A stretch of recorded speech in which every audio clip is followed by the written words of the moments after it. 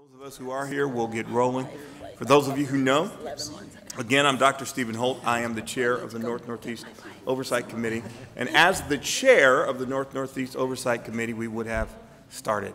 Um, as the facilitator for tonight, gave us opportunity to get together. So I'm kind of here in a dual role tonight. I facilitate the work of, or have facilitated up until uh, this past month, the work of the North Northeast CDI.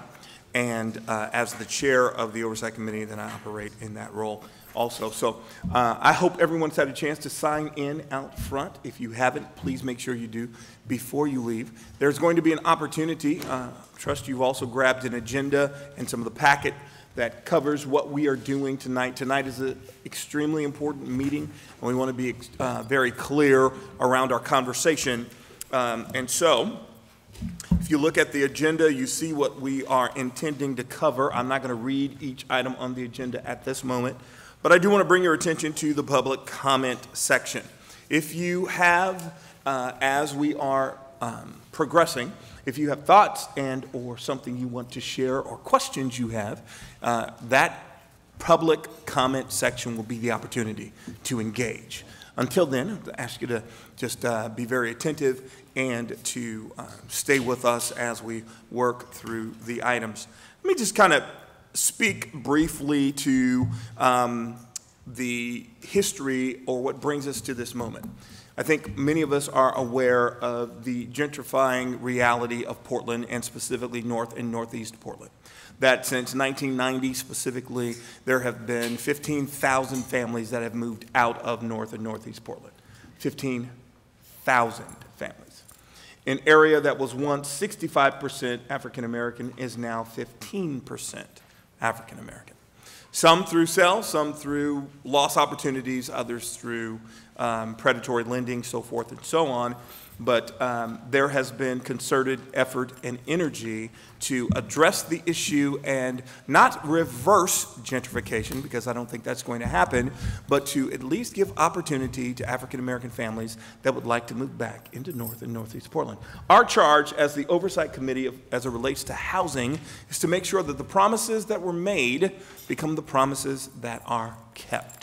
And there are four specific areas that we have uh, been concentrating on. One is uh, opportunities for ownership for people of color, African Americans, specifically those who lived in North and Northeast Portland who would like to move back to make sure that we are uh, creating opportunities and pathways to secure ownership. The other is affordable rental housing um, to make sure that those also uh, individuals who would like to be back in North and Northeast Portland have an opportunity to take advantage of uh, the possibilities and have an affordable rental unit. The third strategy was displacement prevention. So the people who still live in North and Northeast Portland, what can we do to help underwrite, support, and empower those families to stay in their homes? And then our last charge was around uh, what is called land banking. And land banking simply means to purchase some land and set it aside, to take it off the market so that other um, developers could not develop it for market rate development, and that at some point it could be developed for affordable units, either ownership and or renting.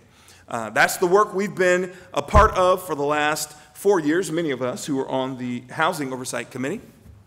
That's the work we've been a part of for uh, the last four years. And as a result of that, uh, I believe we've got 1,500 doors that are in the pipeline, or 1,500 units that are in the pipeline.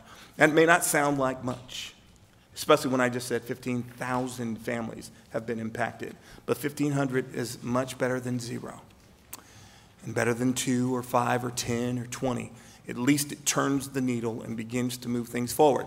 Now, it is not enough.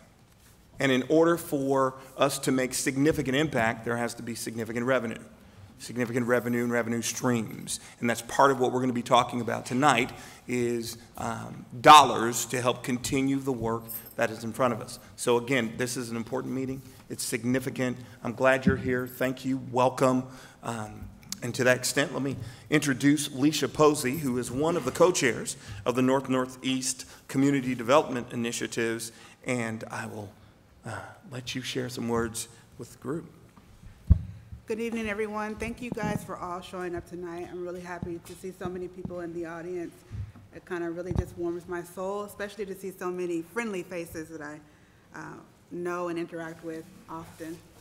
Um, So the North by Northeast Community Development Initiative Oversight Committee uh, was formed in 2017 um, as an oversight committee that would um, work to see that the work and action that was put in place in the action plan would come to fruition. So we have been in place a little over a year now. Um, We have members around the table here. I don't know, Dr. Holt, if we're giving everyone an opportunity to- to introduce themselves, and if this would be the appropriate time, but if you're on the committee, if you would mind just saying your name, um, and we can start over there with Maurice. Maurice Rahming. We didn't hear you back. Maurice Rahming. Maurice Rahming. Karen Ward. Gwen Thompson. Oscar Arana. Jennifer Huang? Is it on? Shonisha Smith? needs to be green. Okay, sorry. Shonisha Smith. And if there's anyone on the phone, are we having phone folks in today? Okay. So, um, the action plan, if you haven't seen it, is available. It's on the web, uh, Prosper Portland's website. Um, but I just highlight real quickly the five bucket areas that the action plan covers.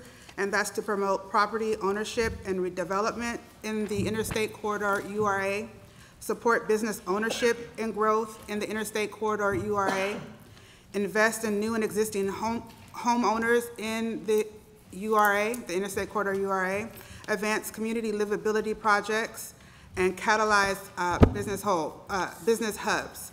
Each one of those buckets has an allotment of money to go with them. There's $32 million total for this action plan. Um, And so our task really is to kind of oversee, uh, working in concert with Prosper Portland, that these dollars are spent um, uh, to provide economic opportunity and wealth creation in the African-American community. Thank you, Alicia, for the overview. Appreciate it. It is great to have uh, a joint meeting tonight and the opportunity to participate together. I'm going to have the um, Housing Committee, if you will identify yourselves as well, be great. Begin over there. Come back around. Sheila Holden. Get your mic close to you.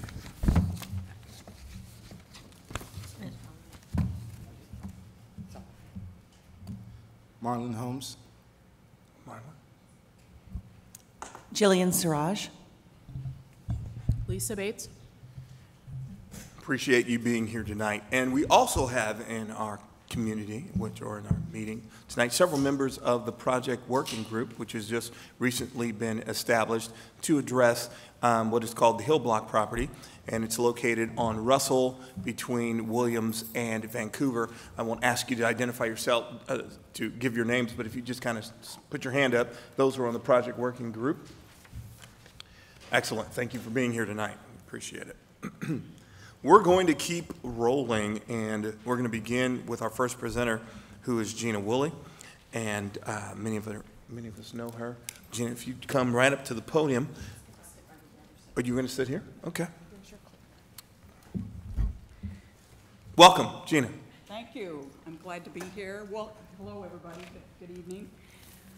Um, What I'm going to try to do in 15 minutes is give you a really quick overview of urban renewal. As many of you know, I have developed with urban renewal dollars in, not on?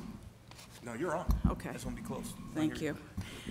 Um, I've done projects with urban renewal dollars in this area, um, and I'm going to talk a little bit about one of those projects, Vanport Square, a little bit later to talk about how those dollars can be used in a commercial project to really provide community benefit. And uh, the typical formats for doing commercial revitalization, I'm not going to be talking much about housing projects. Housing projects as a function of the urban renewal dollars are relatively a, a new, um, a new initiative. So uh, it, it it hasn't been until the interstate urban renewal district that housing dollars were actually, part of those urban renewal funds were allocated that uh, for housing. And actually, uh, it started off at 30%, and now in the interstate, it is at 70%. So it's been amended a couple of times over, since the uh, Interstate Urban Renewal District was formed. Um, And it's directly related to the kind of uh, crisis that we have with gentrification and the pushing out of black families and poor families out of inner north and northeast Portland. So I want to just kind of, uh, I'm going to uh, talk generally about what urban renewal was supposed to do, um, just as a tool, and how it's been used, because urban, urban renewal has essentially been weaponized around the country in, in many ways as a tool to remove poor communities from the center of cities. Um, so those areas of the city that are the, the poorest, the blackest, uh, the um, least, uh, have the least amount of influence have generally been gr- more greatly affected by urban renewal around the country than other neighborhoods. Um, and that was true of Portland in the early years, and that's why we are where we are today. So, um, urban renewal is basically a state-authorized uh, redevelopment and finance program. It uh, was originally designed uh, in the um, 19 late 1940s to um, basically help cities improve and redevelop the inner core of the cities. That was, was what it was intended to do. Um, and it was to redevelop those areas that are physically deteriorated, that were suffering from economic stagnation, that were considered unsafe or poorly planned. Um, it, it doesn't take much imagination to think that if we're looking at uh, public officials who want to remove folks from the core of the city. They want to bring other more economically prosperous activities to the core of the city that those areas would end up being targeted. So in, um, in the 90s and 1950s and the 1960s, uh, the concept of urban renewal was used across, uh, used by cities across the country to um, assemble large tracts of urban land to basically redevelop, supposedly redevelop and revitalize the inner cities. And generally speaking, as I've already said, those areas targeted were, for redevelopment, were generally the poorest and the blackest neighborhoods in those cities. Prosper Portland was established in 1958 as Portland's urban renewal development agency. So um, and three of the four earliest federally funded urban renewal efforts in Portland were focused on inner north and northeast Portland. And those included the Albina Neighborhood Improvement Plan, the Emanuel Hospital Urban Renewal District, the Model Cities, and the Model Cities uh, Development, Neighborhood Development Plan. So in Portland, between the 1950s, uh, the, the Memorial Coliseum uh, General Obligation Bond, this was prior to the time that PDC was established in the late 1950s, so they did a general obligation uh, bond to fund the Memorial Coliseum project. Um, and that was in 1956. So between that time and the early 1970s, when, which is when the urban renewal, the Emanuel Urban Renewal Project took place, there were at least three massive construction projects that essentially destroyed the Albina neighborhood as it existed at the time. And of course, that community was the center of the black community um, in, in that era. And it's interesting, I mean, it's important to understand that the Vanport flood happened in 1948. And most of the population that moved into, into the Albina area, the black population, came out of the Vanport projects. And so that with the uh, real estate code pro- prohibiting brokers from selling houses, we ended, the black community ended up concentrated in the Albina neighborhoods. And so we're seeing, starting in 1956, uh, where those con- concentration, where that concentration of community is, that there are beginning to be public actions that essentially change um, the fabric that, uh, of the inner northeast area. So um, I think that the major projects, I guess I should go to my next, whoops, sorry. I'm not real good at using these things, so. Can I go back? Okay. um, So th- uh, these are the, these are the major urban renewal projects and/or areas.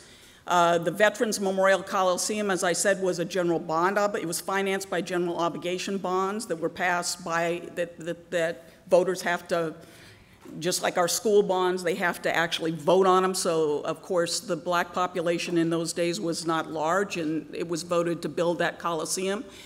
Uh, the Legacy Emanuel Urban Renewal District was specific to providing expansion land for the hospital. Uh, So in, in, in effect, um, the Portland Development Commission started talking to the hospital in the early 1960s about, uh, they had heard rumors that the hospital was thinking about leaving the city, and what they wanted to do is provide land to give the hospital room to expand uh, you know, in, in terms of their 50-year expansion plan, so they would be, they would stay in the city as a tax base. So essentially, um, that was, uh, that happened in, the, the city um, submitted its application for the urban, the, the Legacy Emanuel Urban Renewal District to HUD in 1967, and the first the first displacement, um, uh, or the clearing, the land clearing, the demolition of homes and commercial buildings started in the early 1971. The urban, uh, the Emanuel, uh, Legacy Emanuel District was only 55 acres, and you're going to see these urban renewal districts get larger and larger because the interstate urban renewal district is three, uh, over 3,000 um, acres, and it, so it makes a lot of difference. So the next one was the um, Oregon Convention Center Urban Renewal. Uh, It was created in 1989. It consisted of 410 acres. Um, I'm sorry, I think I skipped one. No, I didn't. These are, these are large, uh, major projects or districts. Uh, Was, it was the Oregon Convention Center, and this is the first time, so you see there's quite a gap between the projects that happened in the 70s, and then it's almost 20 years before there is another district formed in north, northeast. And it is formed not for the black community or for folks that are living in now further up in north and northeast, but it is formed for the Lloyd District. And it is formed uh, in order to provide a footprint and to assemble land for the convention center and the convention center hotel. And it was done in conjunction, which uh, makes sense. There, the TriMet was extending the light rail uh, east, and that light rail was running directly through the Lloyd district. And so essentially, there was, it made sense to actually set the table for the redevelopment of the Lloyd district uh, as, as part of that. So uh, As I said, that district was created in 18 1989, and it, the last debt that was issued on that was in 2013. And that consisted of 410 acres. It's basically the Lloyd District from Broadway down to the river, 15th, and down uh, on the other side to the Gulf. Uh, So the, the, the last one, of course, is the Interstate Corridor Urban Renewal District. It was created in 2000. Um, It is the largest. It has 3,990 acres, and it its long, uh, the last long-term debt that can be issued currently um, is in June of 2021, which is part of what I understand this project is, I mean, this is about. So just quickly, let me run through. Can you click to the next slide? So these are typical ways that you do use urban renewal funding. So for example, when the OCC district, with the Oregon Convention Center district was funded, we had uh, advocacy groups in North, Northeast. We had the Northeast Economic Development Alliance at the time. It included partners from all of the community organizations.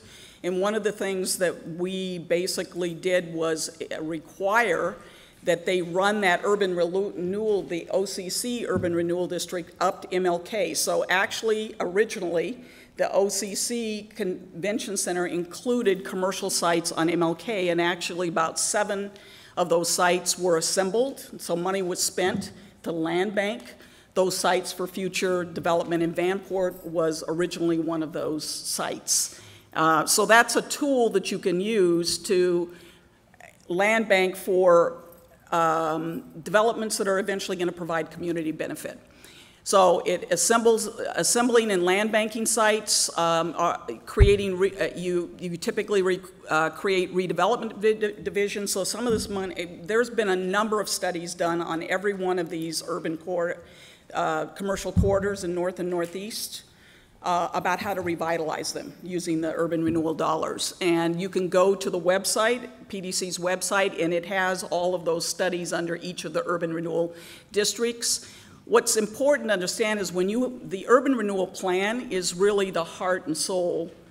It tells you what the objectives of that urban renewal district is, and really it gets set when that plan is put in place unless it's amended and you essentially can't do things outside of what that plan was put in place for. So the OCC district, for example, was primarily created for the Convention Center Hotel and to revitalize the Lloyd district, but it has a third objective that talked about helping to build wealth um, you know, uh, and so that, uh, that, that had to do with the MLK sites. Um, so the process is usually you land bank, you create a redevelopment vision. This is what has historically been done by, by PDC. You, then you RFP out those sites for redevelopment. So a lot of the sites that get RFP'd, for example, the, a big one that's on the table now is the post office site. So this is, you know, when you're, it's not, this is the time that people need to be paying attention because essentially the table's going to be set. By the time everybody's worried about what it is and isn't doing it, it's long past the time to pay attention. Um, so on the post office site, this whole ramping process for what's going to happen, you've got a developer that's been chosen uh, to develop a vision. This is the time for people to be involved if they have concerns. Um, and then you set up an MOU. The first thing that happens is you set up an MOU, so you create a concept, you compete for the development rights, and you basically then um, have some time to prove up your concept. And after that, if you can prove up your concept and, and show that it's financially viable and that you have the resources uh, gathered together from various sources to develop it, you end up with a development and disposition agreement.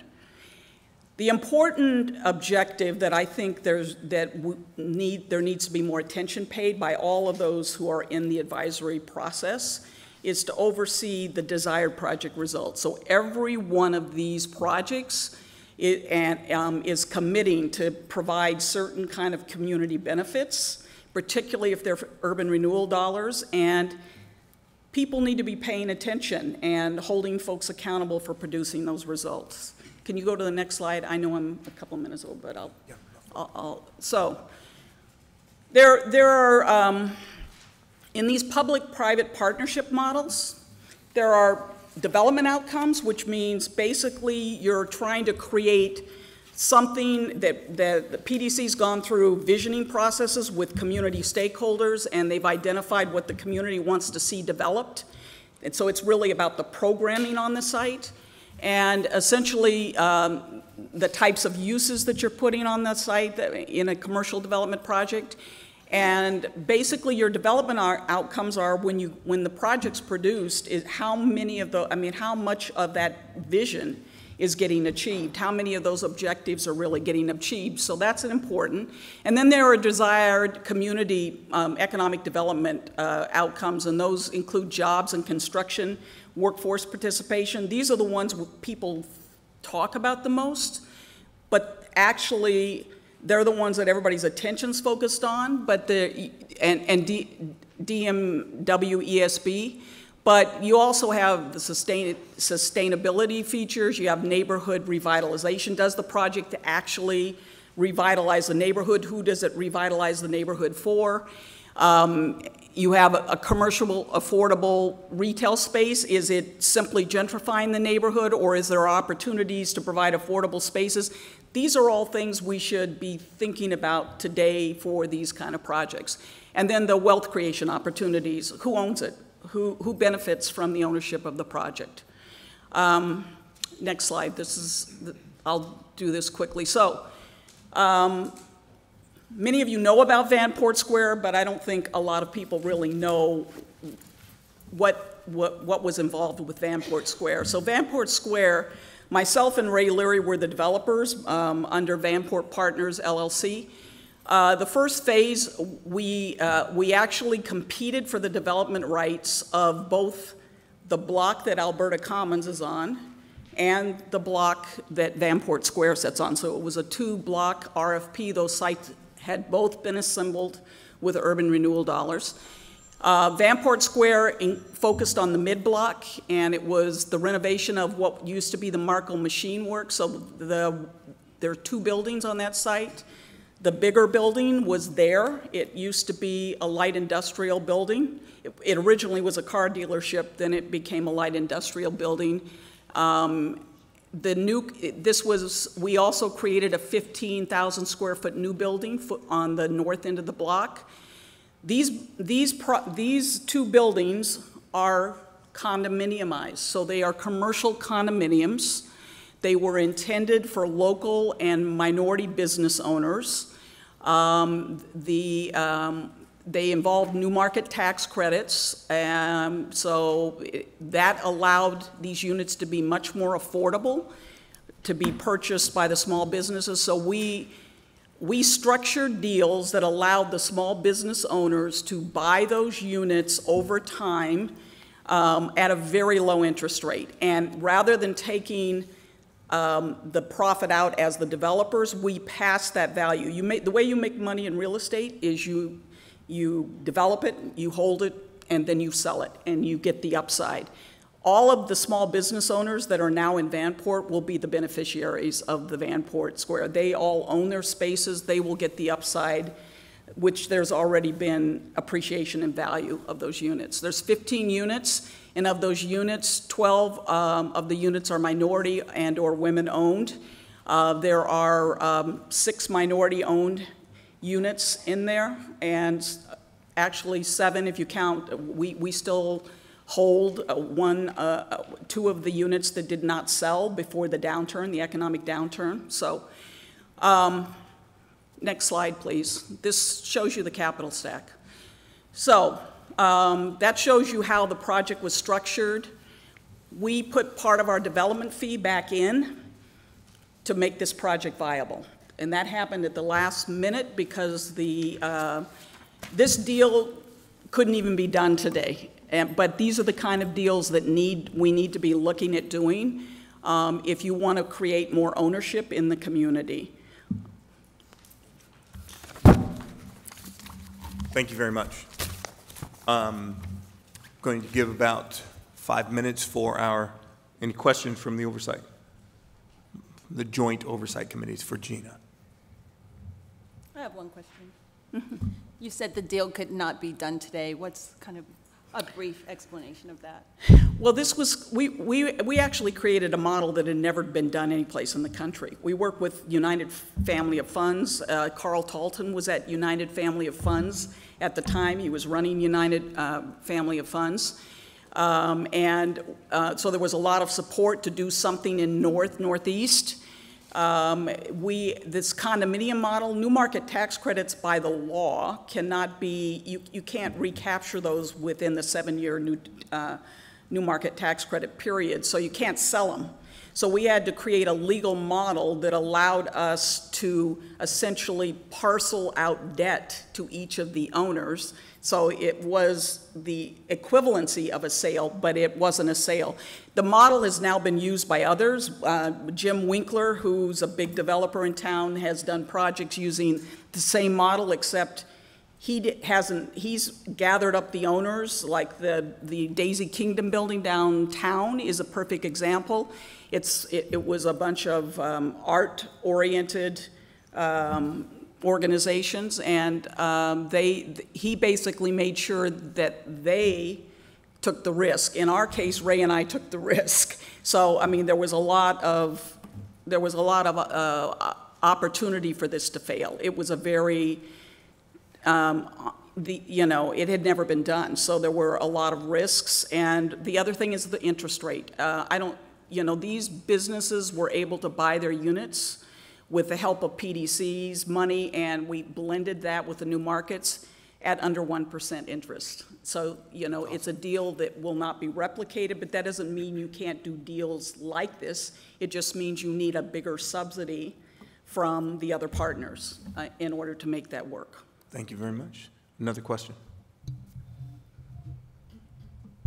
So um, first, I want to say thank you, Ms. Woolley, for the historical work that you've done, not just here tonight, but in, in a number of other instances and sort of putting together these stories. And I really appreciate that you, um, I think, very, very accurately named the urban renewal history as being racist and classist. One of the things I want to lift up in that history is that in every turn and every um, major urban renewal designation that you described here, there were people in the black community who were um, very aware of what was happening, who were protesting what was happening, who accurately predicted the results that would happen in terms of community dissolution and in terms of displacement.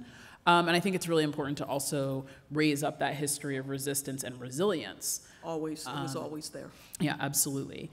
And um, knowing that, knowing some of that history, and I'll, I'll just speak to the ICURA formation and the extent to which um, anti-displacement measures were jettisoned from the actual project work almost immediately um, upon creating the district. Um, when we talk about things like the plan is what tells us what we're going to do, knowing that things can be dropped out of a plan, or talking about paying attention and holding accountable, have you found in your work ways to make um, accountability not just about aspirations or soft targets, but to create um, hard accountability measures that would inform us as we go forward into what needs to be built into um, a plan for any kind of expansion area? Thank you for your um, comments. Um, It has to be built into the development disposition agreement that PDC signs with the developer. I mean, honestly, we had, uh, in our project, we had so many things that we had to, so many targets that we had to meet. I think we were uniquely held accountable to meet specific targets in the neighborhood. And, um, it- you know, the, the, um, the issue is that you have to pay for that. That, those things all cost more money. So, you know, to do all the things we want to do to create community benefit, those things cost money.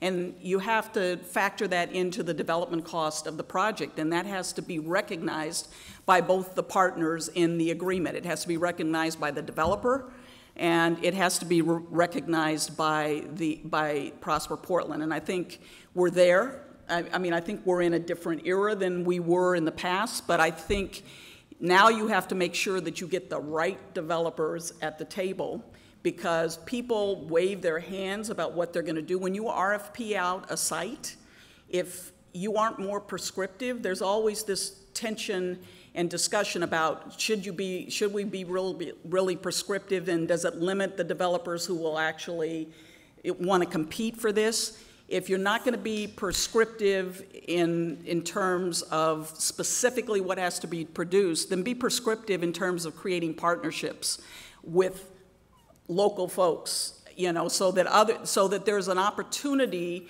Some of the larger projects are not projects that we have a lot of folks that are able to do. Even, even the project that we did, when we competed, we got, we partnered with a big developer because it was going to be a two-block development site, and we really knew we didn't have the financial capacity to go to the bank and do that. But we, um, we took the lead in terms of defining the vision and making sure that the things we committed to do in those meetings in the community and the, that the the input that had been provided through the various community stakeholder processes, that we met those to the letter. Uh, I mean, you know, that we tried to meet as many of those that were, that were financially feasible. So I do think having the community benefit piece, so for example, on the Alberta Commons, the community benefit piece came after the agreement was signed. And so you, then you had to go through a process. I mean, I think Prosper Portland, to their credit, you know, and given all the noise in the community, said, we've got to go back and do this.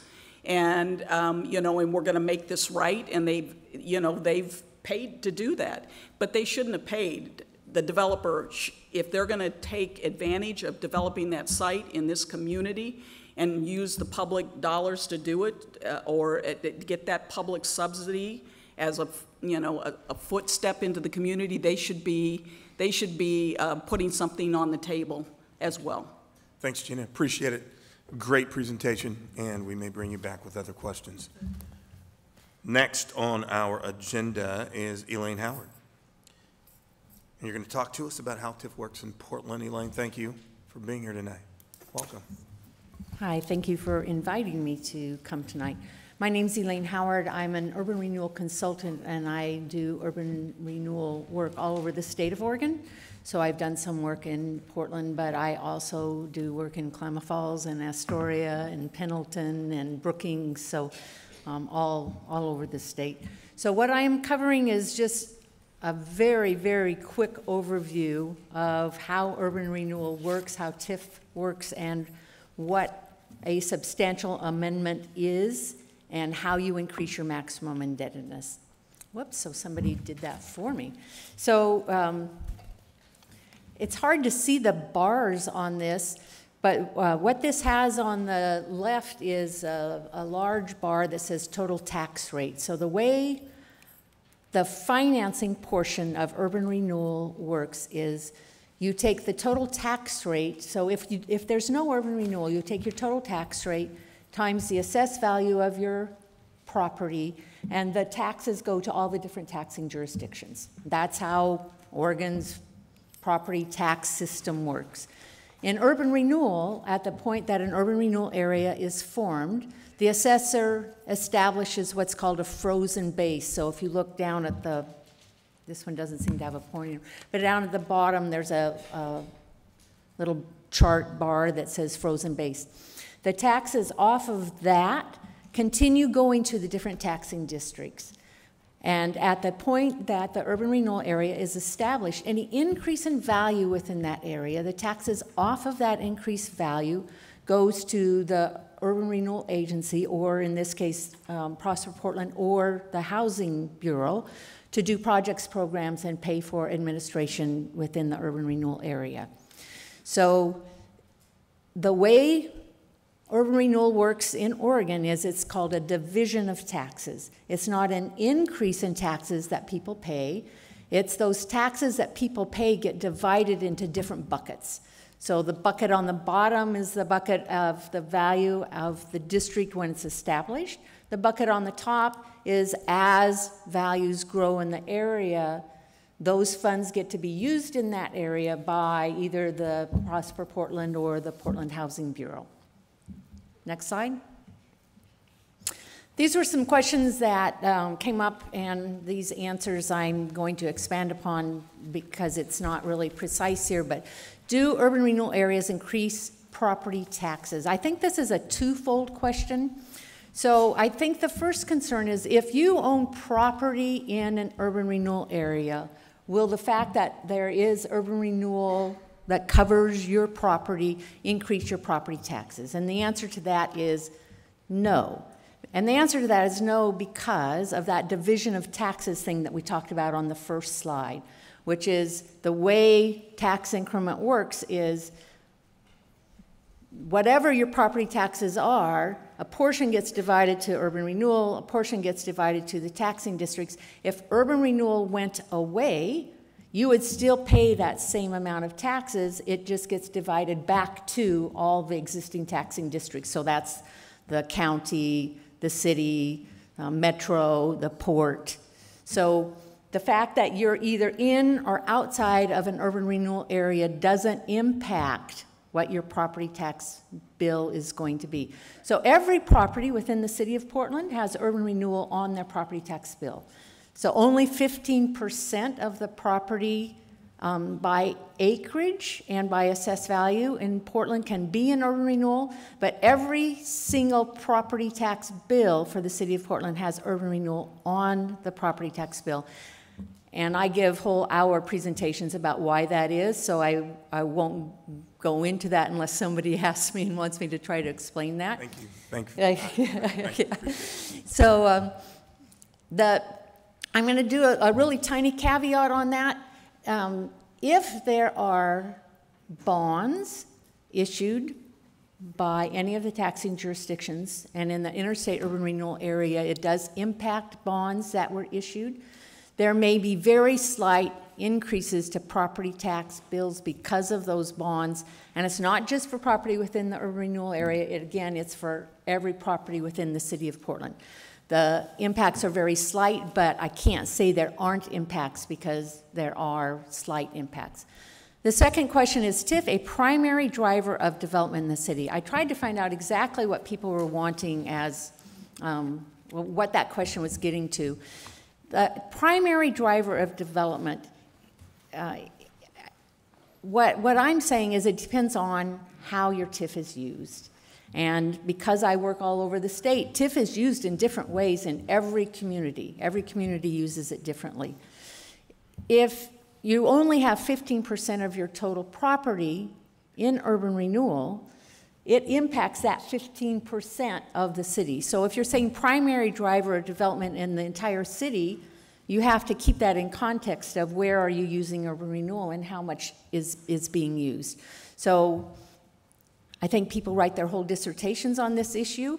So uh, knowing more precise questions later, and if I can answer those, I can try to help. But I think just taking that in context of the amount of TIF uh, being 15% helps put it into some context. Can Prosper Portland or the Portland Housing Bureau condemn property or make people sell property? And the answer is no. When urban renewal started in um, all, all across Oregon, urban renewal agencies did have the power for condemnation of private property. A number of years ago, by initiative, the voters in Oregon made it illegal for um, the taking of your property and selling it to you. They can still take property for public purpose, so if they need it for right of way or for utility expansion, for public purposes, but they can't take private property away from someone in order to cause new development. Um, they used to be able to, they can't anymore. Next slide. So, Absolutely, Dr. Bay. So I, I was hoping to reframe the first question because I, I'm not sure that this is exact. I understand the answer that you've given, but I don't think this is quite the question that people have been asking. I think the question that people are asking is a little bit more indirect. Yes, there's a property tax division, but if the purpose of a URA is revitalization and increased property values, how do those global effects of increased property values impact down to the individual property owner's assessed value and therefore taxes that they're paying? So that's a really good question, and I think, again, that harkens back to the question of how are you using your TIF dollars? So in the interstate area, if you're allocating 70% of your TIF dollars towards affordable housing, and um, if you're looking at, does that then impact the tax rates within the area? I would say Not no. the, not the rates, the property values. So- we know that the reason we're talking about an affordable housing crisis and a displacement crisis in Right. the Northeast Portland is because of enormously increasing house prices, land prices, and property prices. And I think the question is, as I'm sitting in a neighborhood and the prices are going up all around me because I'm in this hot gentrifying area, how is that, the increased assessed value of my own property that I own, affecting my property tax bill? Okay, so that's, that's a little di- different question. So if, if I own property in the city of Portland and I don't sell that property and I don't do major rehabilitation on that property, my property taxes may only go up by a maximum of 3% per year. And that's because of the property tax limitation measures that voters passed, measures 5, 47, and 50. So as long as I stay in my property, and, and my property's assessed value may be at 250,000, and the house next door sells, they, they uh, tear it down, they put a whole new building in, it sells for 700,000, because that's what's happening around the city, okay? My property taxes in my house, because I'm not moving, I'm not selling, I'm not doing major rehabilitation, will not go up to that level. It will only go up that limited amount of 3% per year. Does that answer that question? Next slide. So maximum indebtedness is the controlling factor for urban renewal in Oregon. It's not a time frame, so urban renewal isn't prescribed by it has to be a 30-year urban renewal area or a 20-year urban renewal area. It's constrained by maximum indebtedness. So I'm going to cover a couple of things about maximum indebtedness because that's the thing you're thinking about doing. I'm going to cover how is it established, how increases can be done, and what is revenue sharing. So next slide. So maximum indebtedness is the legal limit of investment in an urban renewal area. It's the amount of money that can be spent on, spent on projects, programs, and administration of an urban renewal area. The maximum indebtedness of the interstate urban renewal area is $335 million. It is the controlling factor other than geography the geography of an urban renewal area, the boundary controls where you can spend that money. That money has to be spent within the urban renewal area. That maximum indebtedness amount can only in be, be increased through what's called a substantial amendment. A substantial amendment is defined in the state statute, as is a lot of what you may or may not do in an urban renewal area. It's prescribed in the statute. And it says that if you want to increase your maximum indebtedness, you have to go through the same process as originally adopting an urban renewal plan. And it lays out precisely what has to be in those documents and how you have to go about doing it. Next slide. So once you have an existing urban renewal plan like the Interstate Urban Renewal Plan, um, it may not be increased in size by more than 20% of the original urban renewal area. And that's a hard and fast rule, and I get asked a lot of times, well, what if we take some property out? Can we then use that as the cushion to add more property? And we've had legal opinions that say no. It, it's not fungible. You can't take property out and then backfill that back in. It's 20% of the original area. And you may not increase in um, large metropolitan areas, so the statute differentiates between smaller cities and the large cities. In large areas, you may not increase your maximum indebtedness by more than 20% of your original maximum indebtedness. So the total amount that you can ever increase the maximum indebtedness for the interstate area is $67 million. Next slide. In 2009, there were some changes to the statute that governs urban renewal, and part of those changes were initiating revenue sharing with the different taxing districts. And this happened because some of the taxing districts felt that if urban renewal areas were really successful, that they shouldn't have to wait until those urban renewal areas close before they receive some of the benefit of the success of those urban renewal areas. The statute was rewritten to say that any new urban renewal plans had specific targets where that revenue sharing had to begin. And existing urban renewal plans, like the interstate plan, had to hit those targets only if they did a substantial amendment to increase their maximum indebtedness. So if the interstate area does a substantial amendment to increase the maximum indebtedness, those revenue targets, revenue sharing targets would go into effect. And uh, and I have another slide on that in just a minute, but the other thing that will happen is, uh, at the bottom on this chart, you can see that if the area terminates with the existing maximum indebtedness, it is projected to terminate in fiscal year 2022, 23, and the taxes would go back to all of the other taxing districts the next year, fiscal year 2023, 24. If it was extended to that full 67 million, and you don't have to do the full 67 million, but that's the maximum you may do, that would extend it by three years. So it would terminate in fiscal year 2025, 26, uh, and taxes would go back to the taxing jurisdictions that following year, fiscal year 2026, 27. Next slide. Revenue sharing is extremely complicated, uh, as written in the statute.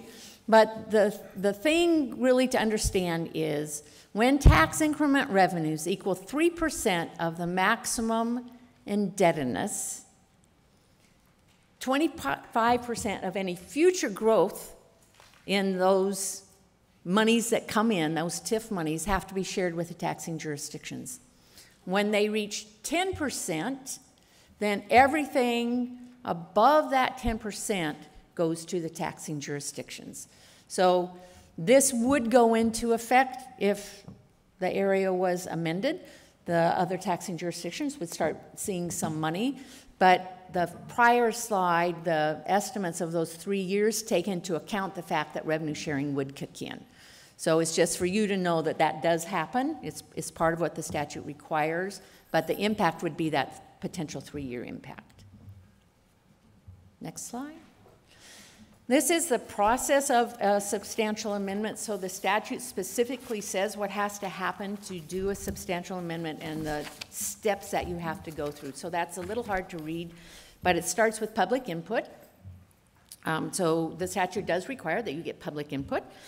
You prepare an amendment and a report on the amendment. Those are both prescribed exactly what has to be in those. They go first to Prosper Portland for their review. That's the way the statute lays out how to amend an urban renewal plan. Prosper Portland then looks at it and says, yes, this looks good. Let's send it out uh, to the, what's in the statute is called Planning Bureau, but yours is called the Planning and Sustainability Commission. And they review the amendment for its conformance to the comprehensive plan. And I've taken um, uh, substantial amendments through Portland through this process, and let me tell you, they don't specifically limit their review to that. A lot of other planning bureaus in the state do. Um, historically, the Planning and Sustainability Commission likes to be involved in other issues too, so they like to kind of put their stamp on the amendment also. Multnomah County gets to have a briefing. They don't get a vote on the amendment. Um, if you decided you wanted to increase the maximum indebtedness, if, the, if the whole process over that 67 million, there is a procedure for doing that, which is called concurrence. And that means taxing districts who levy 75% of the permanent rate levy also have to vote their approval. So if you do it just to the 67 million, the only people who vote is the Portland City Council. If you do it above that amount, they get, the other taxing districts like the county get a vote. In this case, if you do it under that 67, so that threshold is important, under th that 67 million, you have to give a briefing to the county, but they don't get to vote yes or no on it. And then the final determination um, on that increase is made by the Portland City Council, and it's made after a hearing that is noticed. It's called a super notice. So it's noticed to every household in the city through, there are four different ways you can do it. You can do it through utility bills, you can do it through voter registration, you can do it through property taxpayers. There may be only three. um, through, eh, through those prescribed groups. So you have to let people know this is going to happen. You have to tell them that there's a potential for a maximum indebtedness increase. The city has to hold a public hearing and take input and then vote on a non-emergency ordinance. Thank you. Thank you very much. Great information. Don't leave yet. Um, we're going to give about five minutes for the joint committees. Questions? Jillian. Hi, thank you um, very much for that detailed review. I wanted to just hop back to um, Dr. Bates' question from earlier with just a point of clarification, and that is that the, while currently property taxes can't go up by more than 3% a year, that Measure 47 and 50 was passed in 1996, long after urban renewal was being used. And so historically, um, the memory, I think, in our community is that property taxes became such, within urban renewal areas, became so burdensome that people, it was a, um, a tool of displacement. So while that is not happening now, I just, I want to go back and say that, that historically, that that absolutely did happen. Yes. Um, and that I think that the, while the question itself that was posed is about, um, taxes on personal property, we have to look at that it's not just about property taxes. It's also about increasing, when those property values around you are increasing, the cost of maintaining your home goes up. The cost of, a small business in a gentrifying area, your rent goes up because property values are going up because your landlord has more cost. And so it's, you know, it's, it, the question itself, I think, was very narrow, but I think that the answer is a little bit bigger when we're talking about TIF um, and how, um, how we can now use TIF to try and address some of the affordable housing issues, but that it's, I think it's really important to look back at the history of how it's been used to displace people and in a, um, under the guise of improving a neighborhood. So that's, that's all I wanted to add. Questions, comments? Anyone else? I just,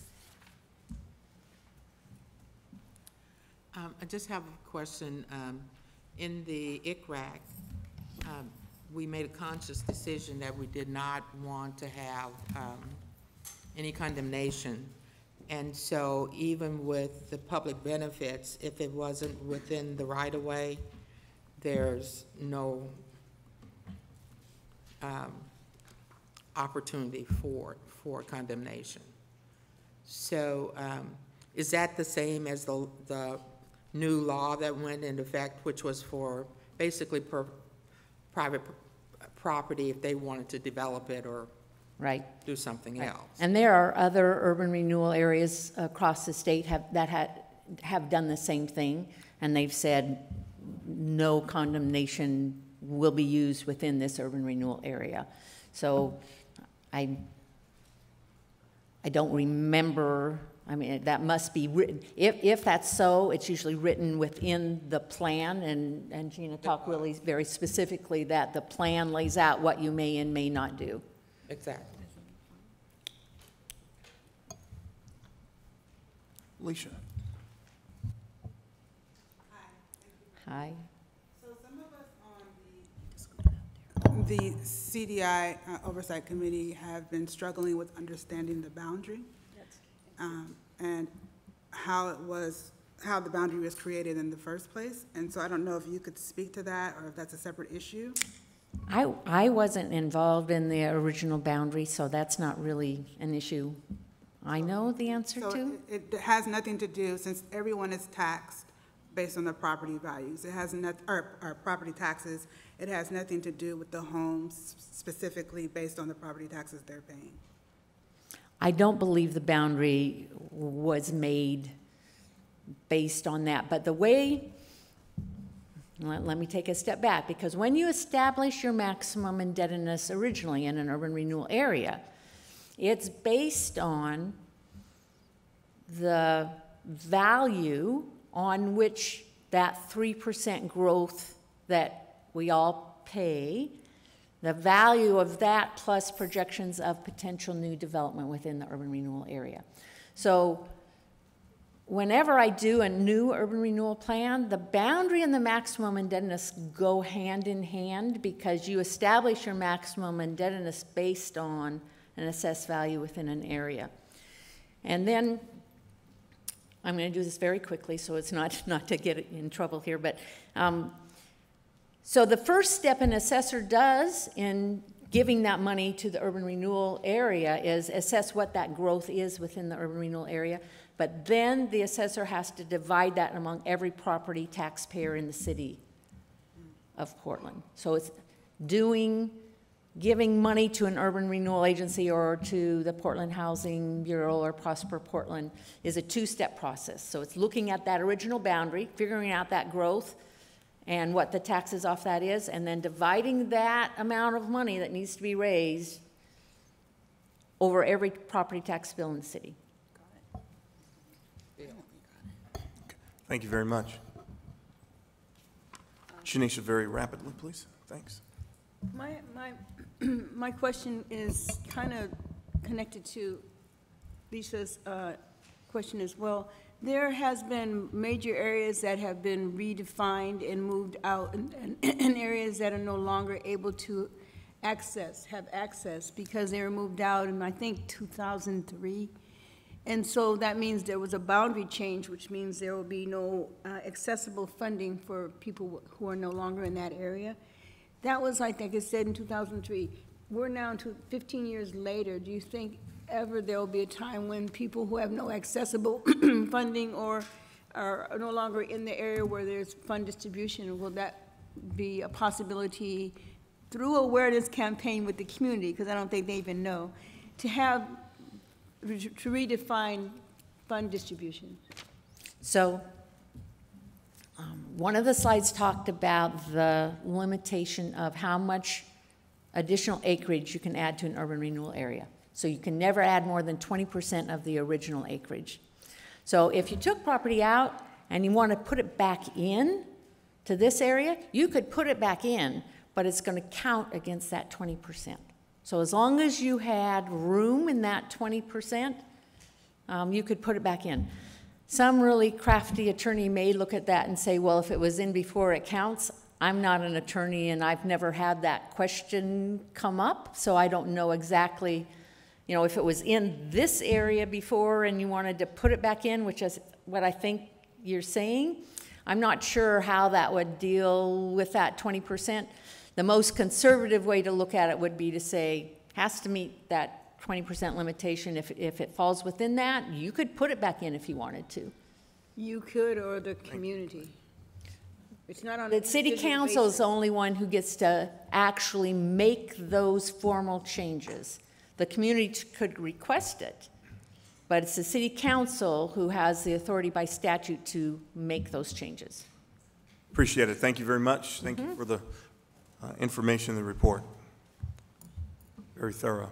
Tory, you are up, sir, with the potential amendment, economic development impact. Thank you for being here. Thank you, Elaine. Appreciate it. Good evening, everyone. Good evening. Uh, my name is Tory Campbell, and I'm the manager of Prosper Portland. I manage our entrepreneurship and community economic development initiatives throughout the city. Uh, and I'm going to take a few minutes to walk with you through the continuation of the conversation that Elaine began to lay out of uh, what are the, the economic impacts if we do increase the maximum indebtedness. Um, for us, uh, the way the, the dollars are now um, divided, the Portland Housing Bureau within the interstate uh, renewal area, they receive 70% of the urban renewal dollars, and we, Prosper Portland, uh, receive 30%.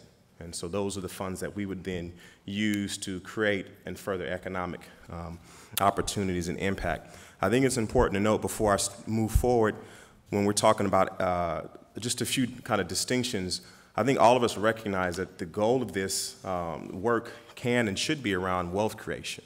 Uh, and wealth creation happens in a variety of different ways. Historically, in our country, wealth creation was through uh, the ownership of a home. And so I think that's why affordable housing and other things tend to show up um, as an important priority, whether that be down payment assistance or the, the repair of a home, because that allows those, that property to retain its value and stay within the family.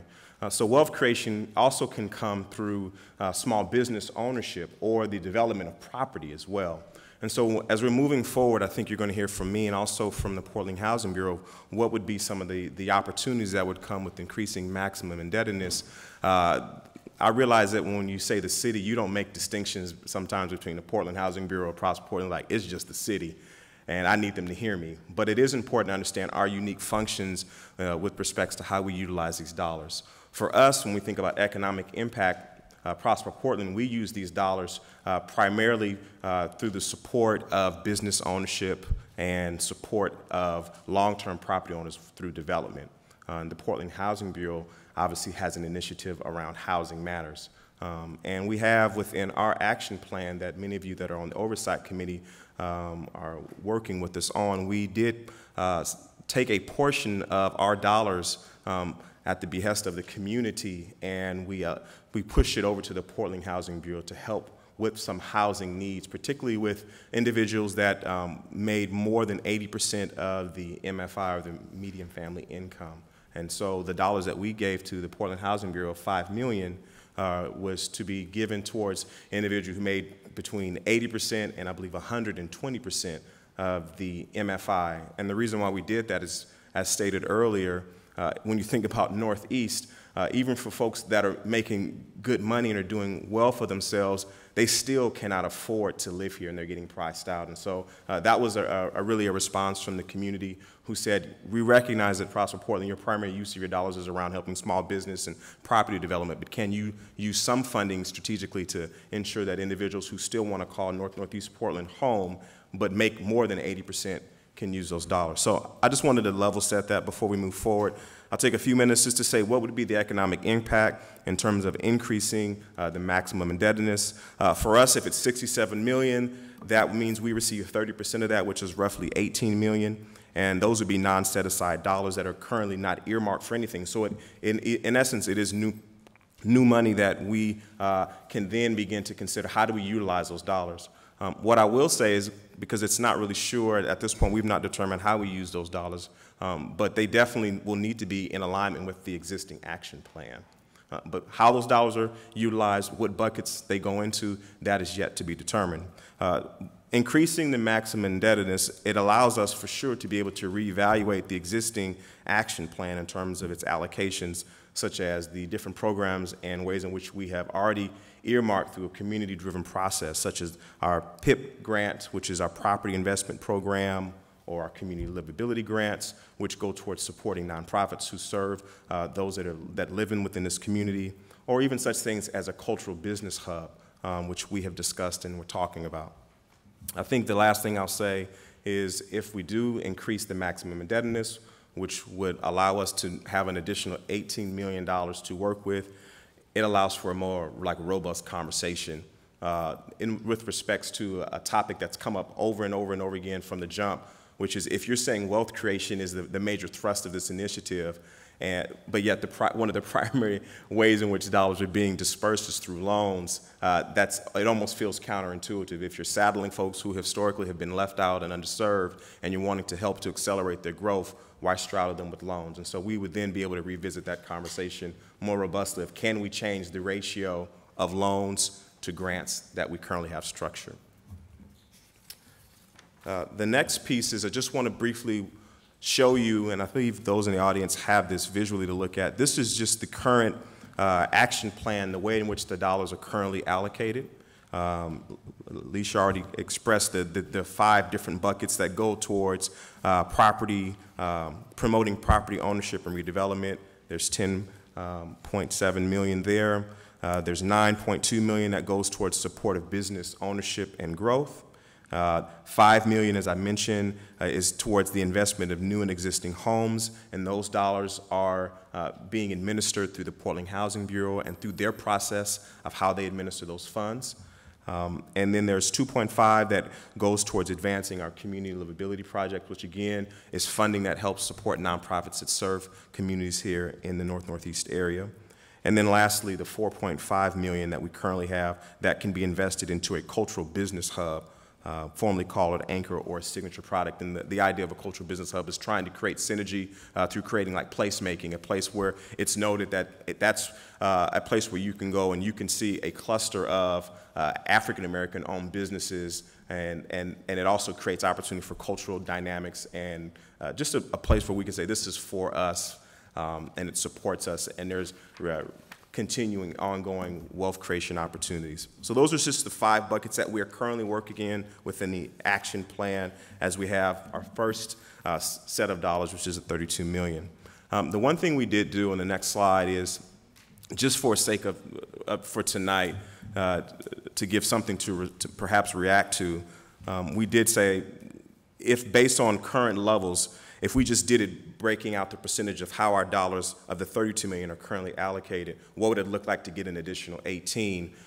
We just did it based on the current percentages. It would show an increase in each of those areas that would correspond to the way in which the dollars are currently situated. Um, but I do want to remind you again that we've not come to any conclusion on that. This is a process I actually want to go through with our oversight committee and really talk through like how's the best way to approach this. Is this something that uh, we want to just provide recommendation and oversight committee? We we have a conversation around it. Is it something that we feel like we need to bring back out to the community? Um, but there are a variety of ways that we can and should move forward in terms of understanding if we receive this additional 18 million how we should best use it. But this is just to give a reaction uh, to see what the numbers would look like in terms of increasing uh, really the opportunities to do more, potentially more good in terms of wealth creation opportunities over the life of the urban renewal, urban renewal area, in particular with our action plan.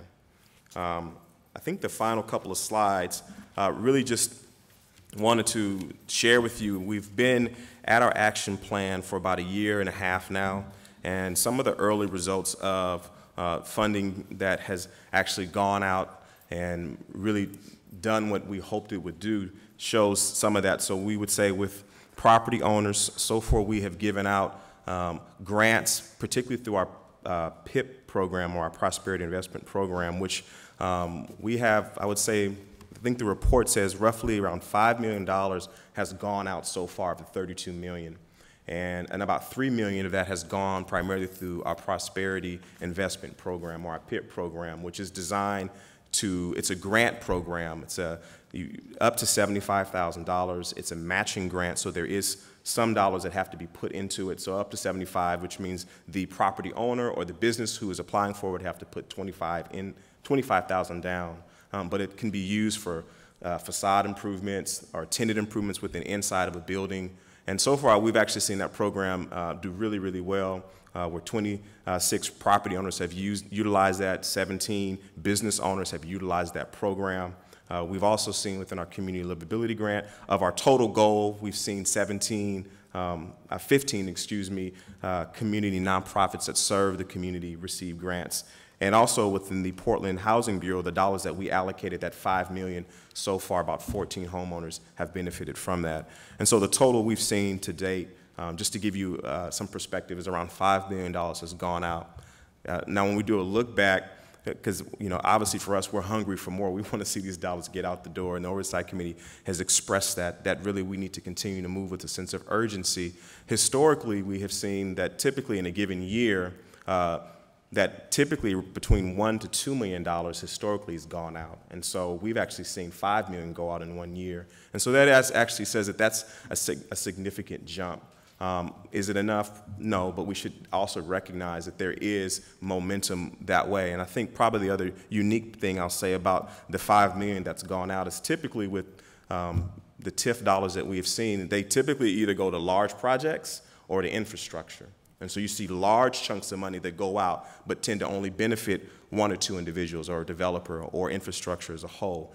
In this case, the, the vast majority of the five million or three million that has gone out through the PIP program, it's actually individual small businesses or properties. And that, that was a real big concern for the community, even with the Cultural Business Hub, is they recognize it could be a real good benefit to the community, but they feel like maybe only one or two people would benefit from a project like that. They would love to see the money dispersed out more generously to a variety of people. And so we can already see within the first year, we don't know if this will be a continuing trend. We want it to be that three million has gone out and it definitely has helped out smaller portions. That's just that's actually harder work, I guess is what I'm saying, but work that's nonetheless being done. Um, and I think one more slide, and I'll be done in terms of uh, what I have to share, and if there are any questions, I'm glad to take them.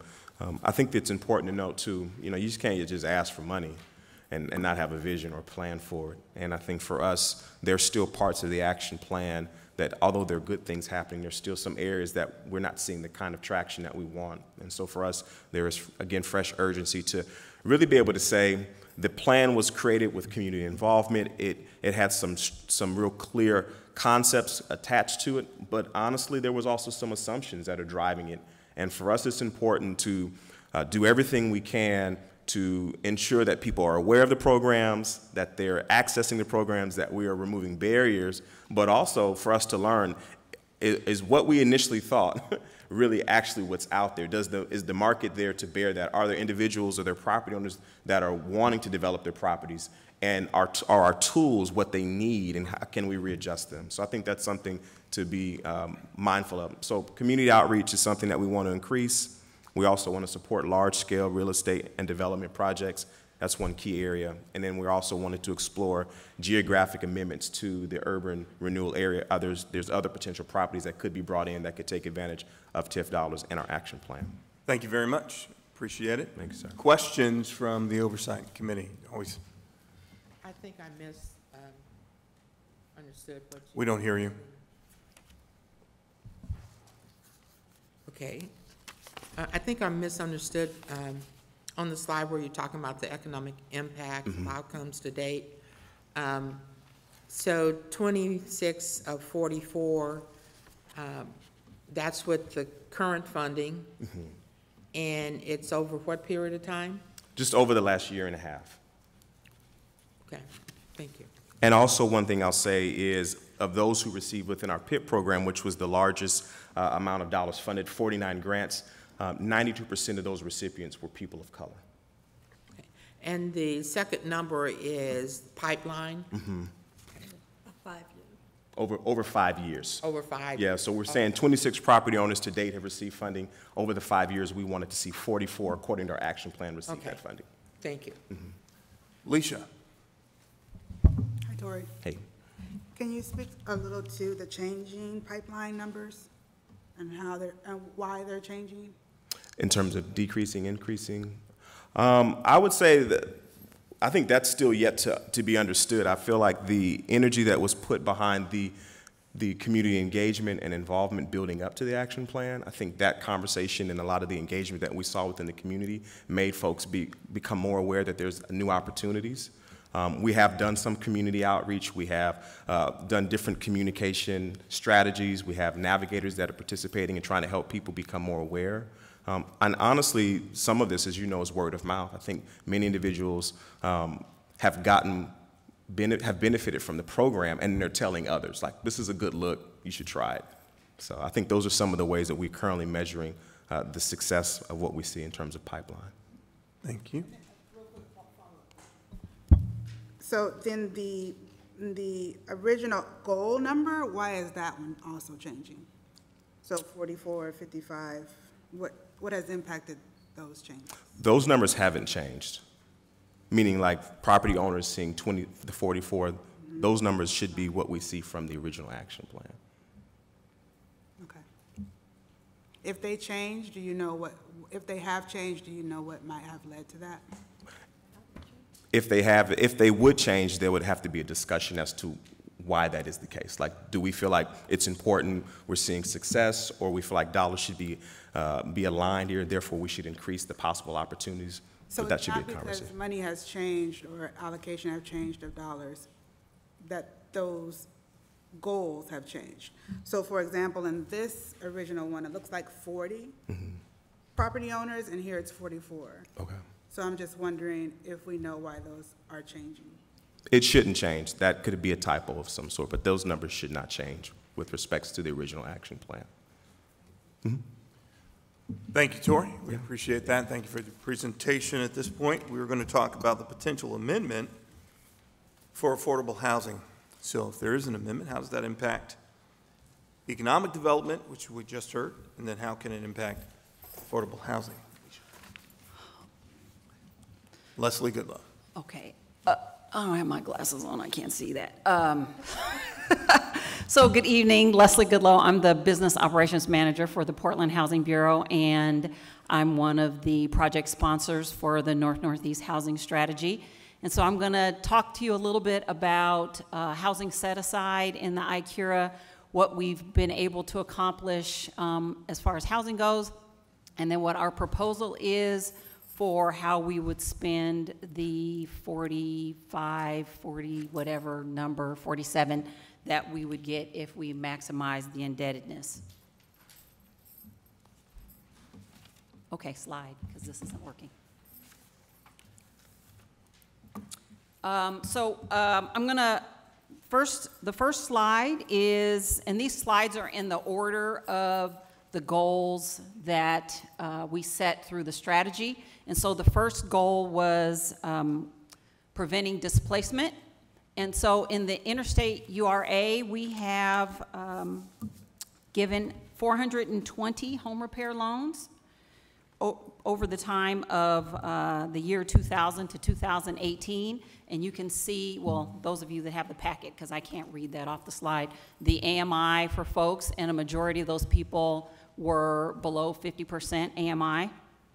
Thank you so much. And 37% of them were people of color. Next slide. Home repair grants, um, the time frame for these are a little slightly different. We've got, done 282 between July of 2013 and June of 2018, and 65% of um, those grants were to people of color. Next slide. 668 people were able to purchase homes in the URA between 2000 and 2018. 42% of them were people of color. And um, you can see the AMI on there. And then since we started the strategy, which everybody probably knows, we haven't, we have not achieved a great deal of home ownership, but the six people that have purchased through the strategy are people of color.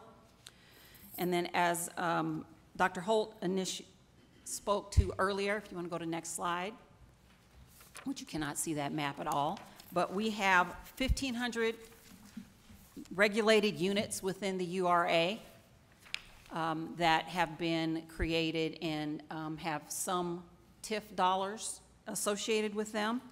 All of those are not related to the strategy, but it's just to talk about what we've been able to do within the URA. Next slide.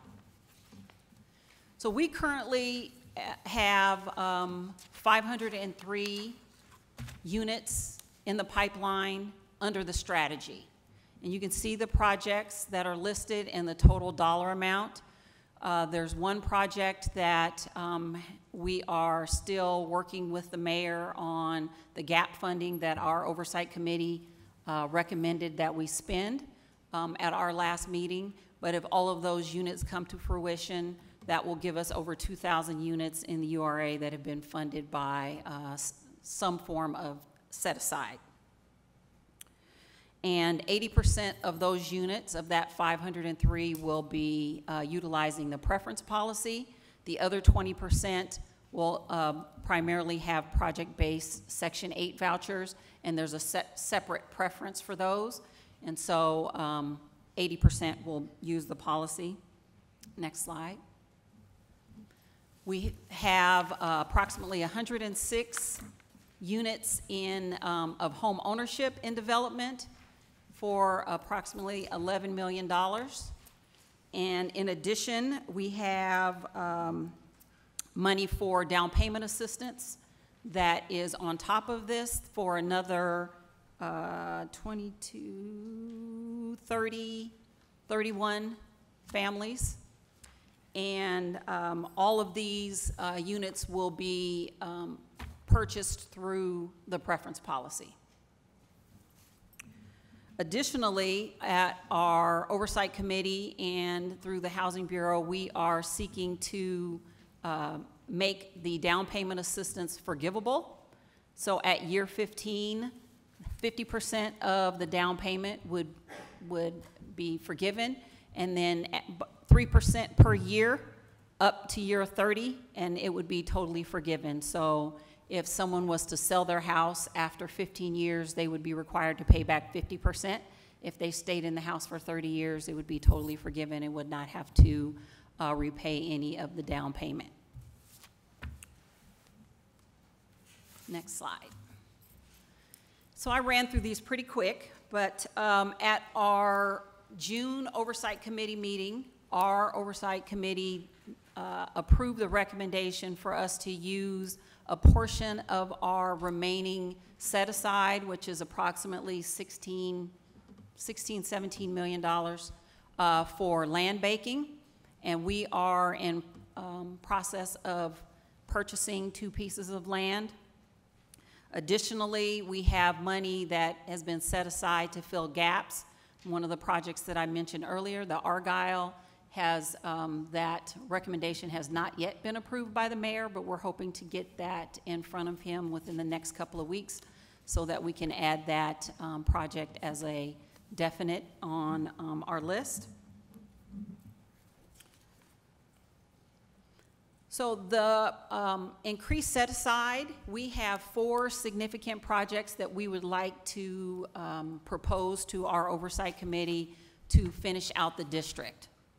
The first one would be a home ownership development of approximately 50 to 70 units on one of the pieces of property that we are in process of purchasing. The second project would be um, a rental development of uh, between 45 and 50 units. The third project would be uh, developing the other piece of property that we're currently trying to purchase. And there's not been a determination whether that would be uh, home ownership or rental. And so part of the discussion with our oversight committee will be for us to talk about what would be the best use for that piece of property.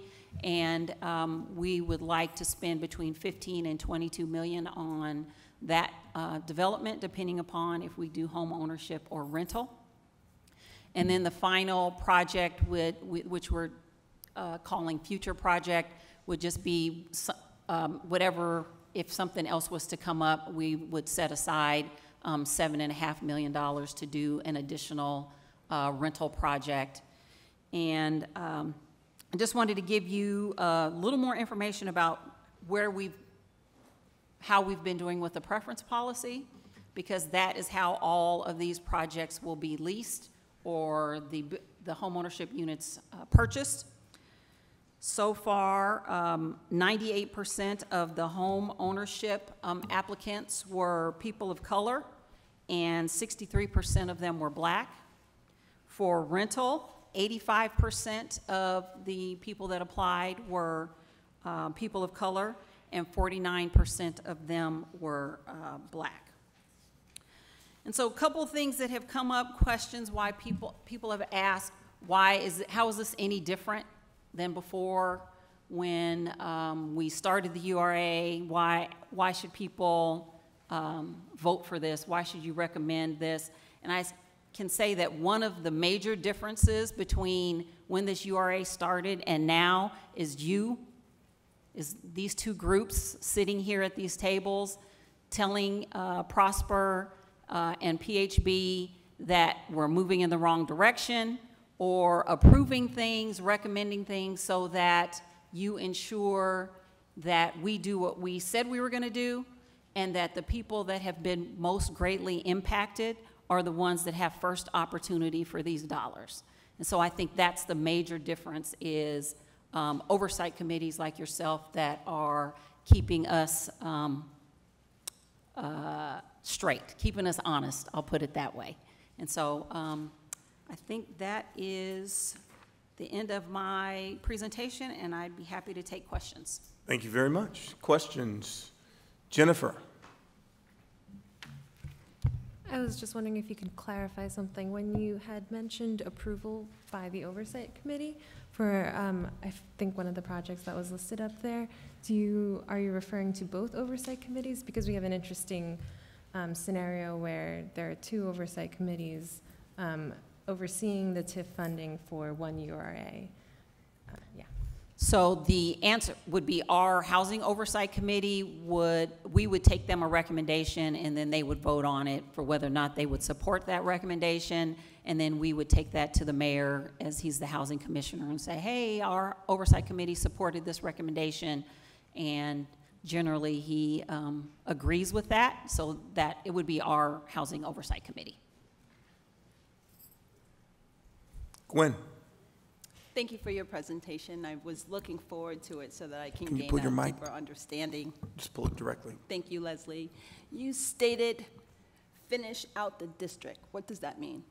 It means just whatever the remaining dollars are. So currently, like I said, we have about 16 million left, if we, if we're, the URA is not um, extended, then our dollars would be done, basically, because the, if we um, do fill the gap for the Argyle, we purchase these couple pieces of property, um, that will pretty much end, um, finalize the dollars that we have unallocated. We still have dollars sitting allocated that have not been spent.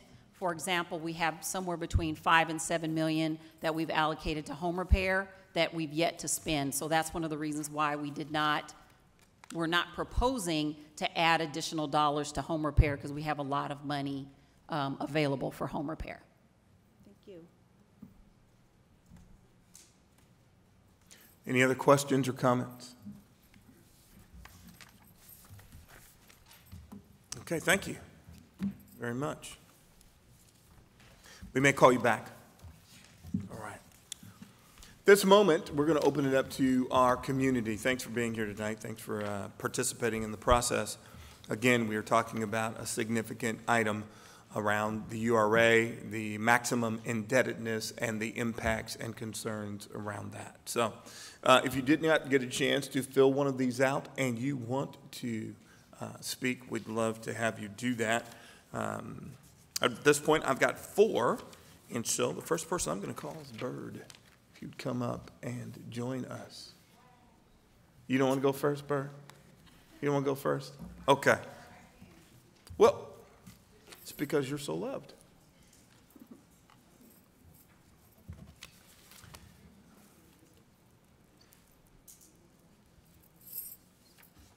If you want to, you can bring it up.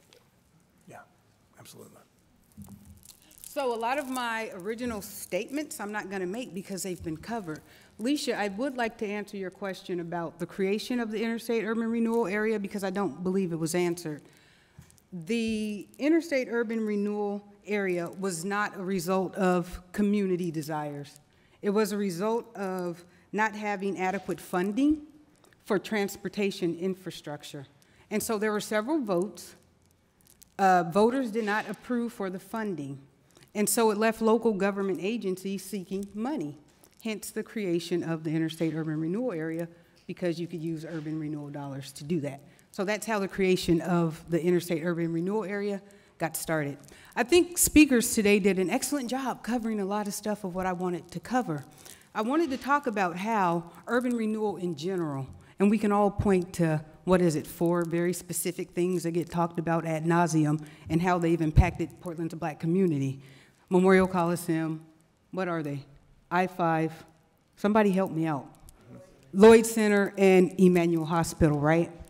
Okay, so the interstate urban renewal area is unique in a lot of ways. It's the largest urban renewal area in Portland. Not only that, it's the, it's the, uh, how can I say this? It's the main or the only, in a lot of regards, urban area to include residential areas. Residential areas that were occupied by non-white people. And so we can all agree that gentrification is a byproduct, if not a goal, of urban renewal. So this is my question. We've already been shot four times by urban renewal by the same person. We are being asked to allow that person, the same person, to use the same gun to shoot us again. If Prosper Portland was serious about these efforts, why aren't we hearing an alternative? Yes, if you want to introduce the interstate corridor, that's how come there isn't an alternative? If you're real, if you really understand the history and the damage that was done, you are asking a people to allow the same tool that harmed you to repair you. I don't know that any other people would be having this conversation. I'm done. Oh, Leisha, I have the original document here from when the URA was started. And I also have a report on gentrification in the urban renewal area interstate. Can I ask a question? Oh, now you asking me questions? Because, no, it was my original question. Okay. And it was about the boundary. Did Sure. you know Oh, how yeah. houses are in or out of the boundary? So what we do know is, Got about a minute. I have a minute. What we do know is uh, the interstate urban renewal area is very ge- gerrymandered, and, and the boundaries do not align with the boundaries of Albina. So I don't know if that answers your question, because, oh, this is what happened. So 10 neighborhood associations were asked to submit portions of their neighborhood to include in the boundary, which is why it's so weird. So that's, Thank that's what happened too. Appreciate it. I have 30 seconds, right? Howdy. I'm not done. Thank you, Bert. Thank you very much. Fred Smith. You'd come. I didn't get a chance to say it, but you're going to have three minutes. Only get three minutes and I was living there all my life? Wow. Uh, well, Fred, we couldn't let you go forever tonight. Well, I'm just bothered with some of the things that are going on because when we talk about bringing people back to the Northeast and North Portland, we're talking about me. I was born in Portland. I was raised right down on Benton where the new uh, educational board is at. And I've been pushed around here, pushed around there. And what I understand now is that I'm in this program called PCRI, and it seems like they're being marginalized or financially oppressed because, I'm saying that because there's other programs that are getting more financing than them. And I would like to know why that's going on. Why are other programs getting $125,000 and PCR clients only getting 120, I mean 100? What's going on? I mean, bird but feather flock together, right?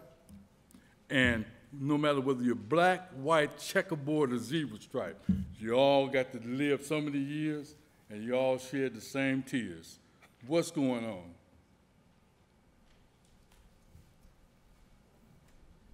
It's a great question. It's a great question. And Fred, I, I, as opposed to getting to all the specifics, we will definitely get back and answer that question because it's nuanced within programmatic dollars. It's not just a matter of uh, simple allocation. It has to do with uh, notice of funding availability, has to do with RFP, it has to do with how dollars were allocated originally. So based on programming, which I won't get into tonight, the allocation was associated with that, which was spelled out in the original allocations. So, Hmm. I know when you put everything together, all this money coming from one pot, right? When you put it all together, so why isn't it being distributed equally? so uh, let me just say this, and, and we'll wrap it up, but I do want to have that conversation. So some things are for permanent affordability, and some things are not for permanent affordability.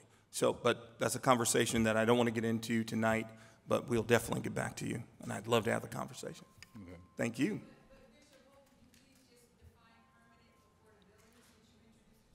Permanent affordability means that properties will be kept in affordable uh, opportunity perpetually. So certain dollars are allocated to make sure that properties remain affordable. So a family that purchases it, purchases through a program, if they move out, then that house has a buy-down agreement so that it remains affordable for the next family to purchase it. And so the allocations were associated with that. So hopefully that made sense. Yes. May I just note that that conversation has happened in the Housing Oversight Committee space. It, in my view, remains unclear and inadequately explained to the community and to the Oversight Committee. It's, a complicated issue, but I think it is an outstanding question that needs to be explained much more clearly. Um, this might not be the meaning to do that, but it needs to be answered in a way that can be clearly understood by everyone. Absolutely, which is why I said we will get back to that. It's a great question and something to be addressed. Quentin Blanton. And you, Quentin, will have three minutes. Good to see you tonight. Hi. Uh, my name is Quentin, and I'm just a concerned community member that wanted to talk more about uh, you guys' issues. So one of the things that I've noticed is that this program isn't specific enough. It, if this program was to be serious, I think that it should be centered on lineage. And um, you guys use a lot of terms and different and say different things that allow, um, you know, everybody to eat off of the failure of a specific group. Um, you use terms like underserved communities, you use people of color, but the, the racist targeting of urban renewal was a specific uh, black American failure. And then I was looking at the interstate corridor um, allocations of funds, and you know, there's no kind of recognition that everybody is not situated the same economically. So, and, and you know, it was like even they had um, I was looking at how they had, the funds had been allocated and African Americans had gotten more, but it was like Asians had almost got just as much as African Americans, and, and, and we're the only group that's experiencing in that area and on a national level a downward disparity in uh, income as well as wealth. So it was just, it, it doesn't make a whole lot of sense to me. And, um, you know, and many other projects you guys are proposing, like the Broadway corridor and the interstate urban renewal area, those are based on specific black American failures. So, I mean, I just want more. My and I spoke on this uh, at a couple of meetings ago when I was at a, uh, one of the meetings and nobody said anything. So, I would just ask that you guys give a lineage-based breakdown on, um, you know, who's getting what and how you guys are allocating the funds because you guys aren't saying anything about that. And uh, yeah, so I would just like to know more about that uh, because otherwise we don't know exactly where, you know, my community and the people who were displaced from this area, which, who were largely African American, there's no way to determine who's getting those funds and where those funds are going. So I would like to see more of an emphasis on lineage and more specificity around that. Yeah. Thank you, Quentin.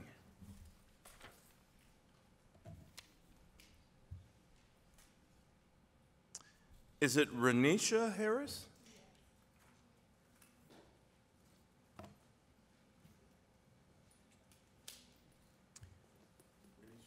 Three minutes. Hi, I'm a current participant of this housing strategy program. I'm home ready.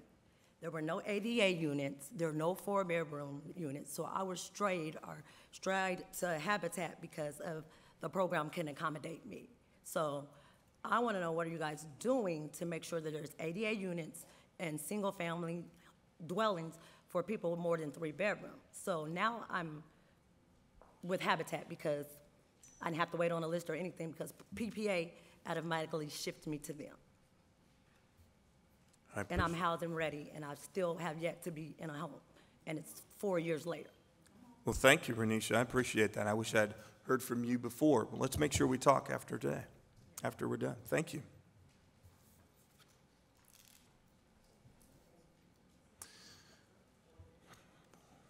Susan Ronning? Mhm. Hi, Susan. You have three minutes. Thank you. I'm Susan Ronning. I live in the Kenton neighborhood. Uh, I understand that we're going to be talking about the Argyle project on the next meeting, but I did want to bring this up to your attention to think about. Uh, I just want to, I'm part of the neighborhood association board, so I'm not speaking on their behalf tonight. But um, personally, we, our, our neighborhood has put together a plan as to how we want our, our, our town to be built and how we want to bring in people and bring in businesses and, and have uh, good housing for everyone. Um, the current plan with the Argyle project doesn't, initially it met the requirements of what we expected and what we wanted, but over the course of the design process, changes have happened, and they've, they've modified the design so that the, um, there's a, a lesser number of units, it's not as, as many units as, as was originally was planned. There's a fewer parking spaces, and then there's no commercial uh, space that we really wanted. We really, really wanted it to be mixed, um, mixed business use, so residential and commercial, and that's been taken away. And in order to meet the funding requirements, uh, they've also changed the, the structure of it so that the, they're not using, I forget what the name of it is. They're not paying prevailing wage, so they can, so they can not have to pay prevailing wage. So the builders are not gonna, they're not gonna be paid what they should be paid. So, so these are issues that we see. Um, so, you know, our neighborhood has put this plan together. We would hope that anything that's getting developed in that neighborhood actually meets what we, what we wanted. So there's been a team of people that have been working on this for years and years, and now, you know, they're coming in and just changing the rules. So, so we just want this, you know, to bring this up to you now, so you can think about it. But we would like to have any, um, you know, as we put in projects, to take advantage or, and of what's already been done in the neighborhoods as to how, what does the community, what does the community want? How, how do we want our neighborhood to be built? So that it, you know, meets everyone's needs. And we definitely want housing, we want more people. Um, we want it to be affordable, but we, also want it to meet, you know, what we want to build. And this project specifically is right on the corridor for Denver as you come into, into Portland essentially, as you come down off of, um, into, you know, off of Den- on Denver and Interstate where you see, you know, the big Paul Bunyan. So here's the entrance to Portland. And there's, this project is going to be right across the street from that. So, Thank you. okay, thank you. Thank you. I Appreciate it. Yvette Davis. I'm sorry. Yes. I'd just like to thank you for that comment and just say how it really speaks to kind of how we started this meeting today and that um, the oversight committees are responsible for seeing that the TIF financing really does actually revitalize neighborhoods and that um, they're held accountable to the intent in which they received the funding. So thank you very much for those comments. Um, and it would behoove us to make sure that the TIF funding and the projects being proposed don't get hijacked, um, you know, beyond the original intent. Thank you, Jennifer. Yvette, you've got three minutes. Thank you. Um, my question is more so for, um, the Portland Housing Bureau and what you guys intend to do with the remaining pots of money. Um, you spoke on, you have funds, five to seven million in home repairs. Why not increase the amount of money that you're giving to the homeowners that need those repairs rather than taking those funds away? Also, you want to buy property. Why not increase the amount of money that you're giving to people to purchase, as we know that the housing costs are rising, rather than buying some property just to sit on? Because if we don't get, if you don't get the money to um, be able to build on, that property will sit vacant, and it won't be of a service, rather than giving people the funds to be able to purchase and not have vacant lots.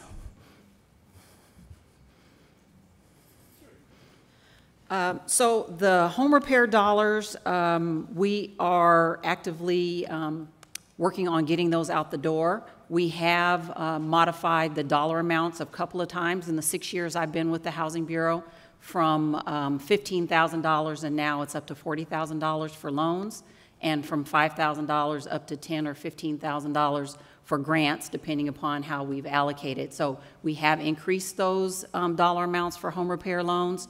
The, uh, one of the pieces of property that we are looking to purchase is a um, property that's um, owned by a long-term property owner.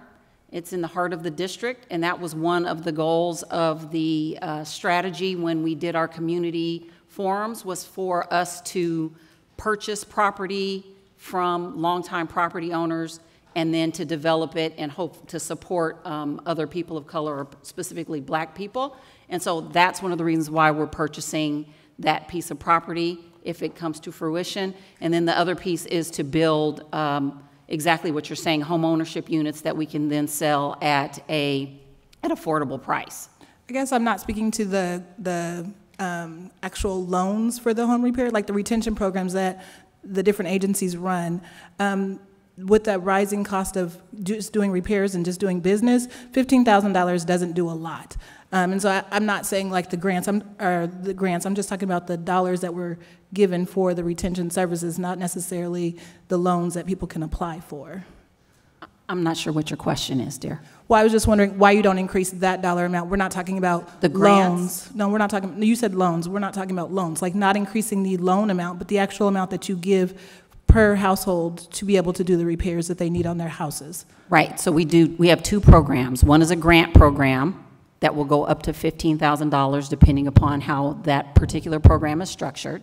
And then we have a loan program for home repairs that goes up to $40,000. So we have two different programs. One, the loan program we manage through the Portland Housing Bureau, and then the grant programs are managed through our subrecipient contractors. And so we give them money, and then they work with homeowners to determine what it is that they need done to their house. I guess I, sorry. Um, Just the 15,000 I'm seeing is not enough to be able to help the homeowners. And if we're trying to help them retain their properties, 15,000 is not, it's not even a drop in the bucket in some of the repairs that need to be done. Appreciate it. Sharon Maxwell.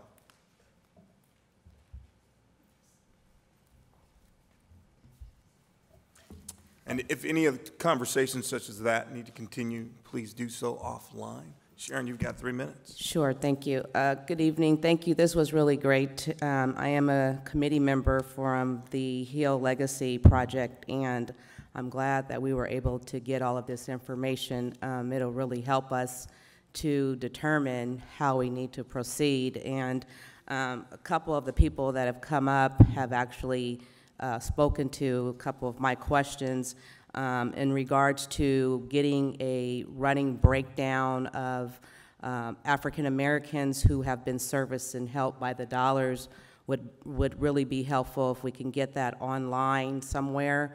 And also, um, in regards to the economic impact, had some questions in regards to um, moving forward uh, those numbers as well. Um, I don't know if there's a way that there can be a cohort group that can be ongoing to meet the needs for business owners and property owners um, so that there can be some, I guess, feedback and peer coaching because uh, when we look at Alberta um, Street, Williams Avenue, Vancouver, and Mississippi, and we're hearing this information um, of how this um, the urban renewal was supposed to help us as African Americans and you know existing property owners and businesses for the majority haven't benefited from from this and so just really going forward we really need to have something in place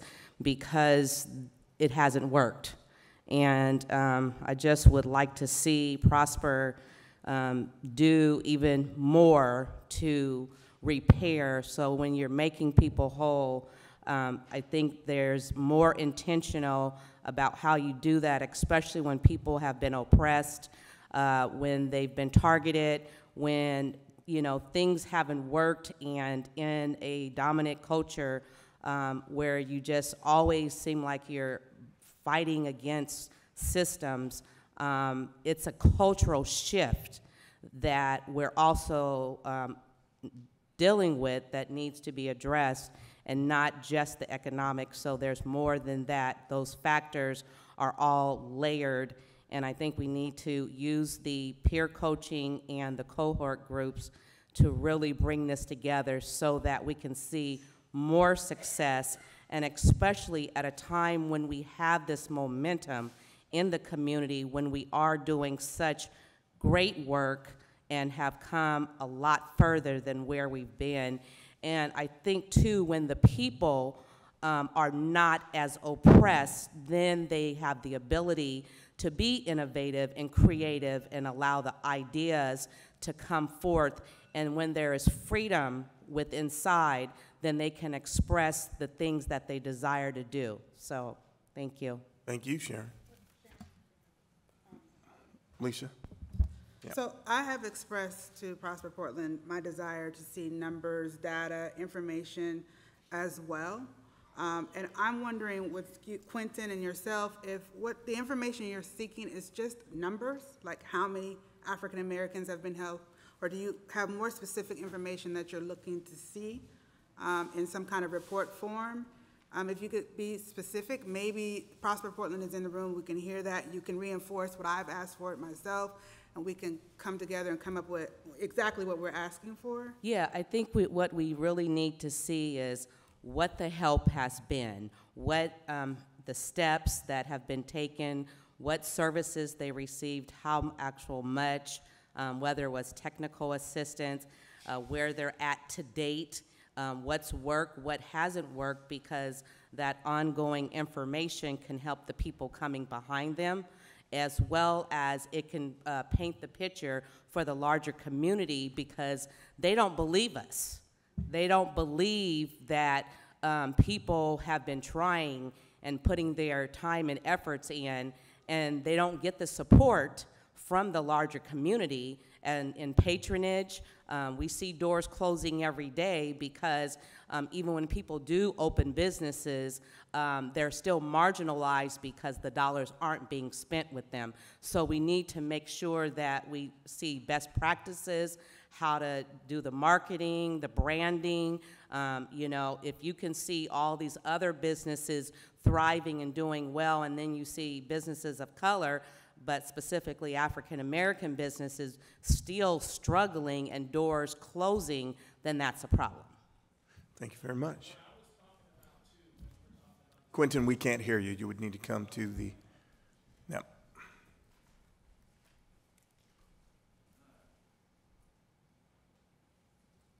In terms of the numbers you were saying, like how you guys wanted statistics and different, or you wanted us to be more specific about the statistics, what I was talking about wasn't based on race. I was talking about um, lineage and how the um, funds should be allocated, well, how I would like to see how they're being allocated to black Americans who lived in that neighborhood, specifically those who were displaced by the racist um, systematic displacement of those families. That's my ask. I don't want that group to be lumped in because, and I, I liked how when I looked at the interstate corridor, they even, uh, um, they didn't lump all black people together. They actually had a section that was for African immigrants, and then they had um, African American. I, I would have liked to have, you know, so that's, that's, that's what I was talking about was lineage-based um, statistics and different things like that. Thank you, sir. Yeah. Appreciate it. Comments, questions from any other members of the oversight committees? So to bring us back to point of meeting for tonight, it was around the URA specifically and how the URA has impacted and or can impact um, uh, the expansion of the URA can impact um, our economic opportunity and or housing uh, development. That is the consideration and what needs to be processed uh, in relationship to determinations, right, and recommendations. So, uh, from the Oversight Committee, do you feel like you've got enough information to process um, what you've heard is sufficient for that?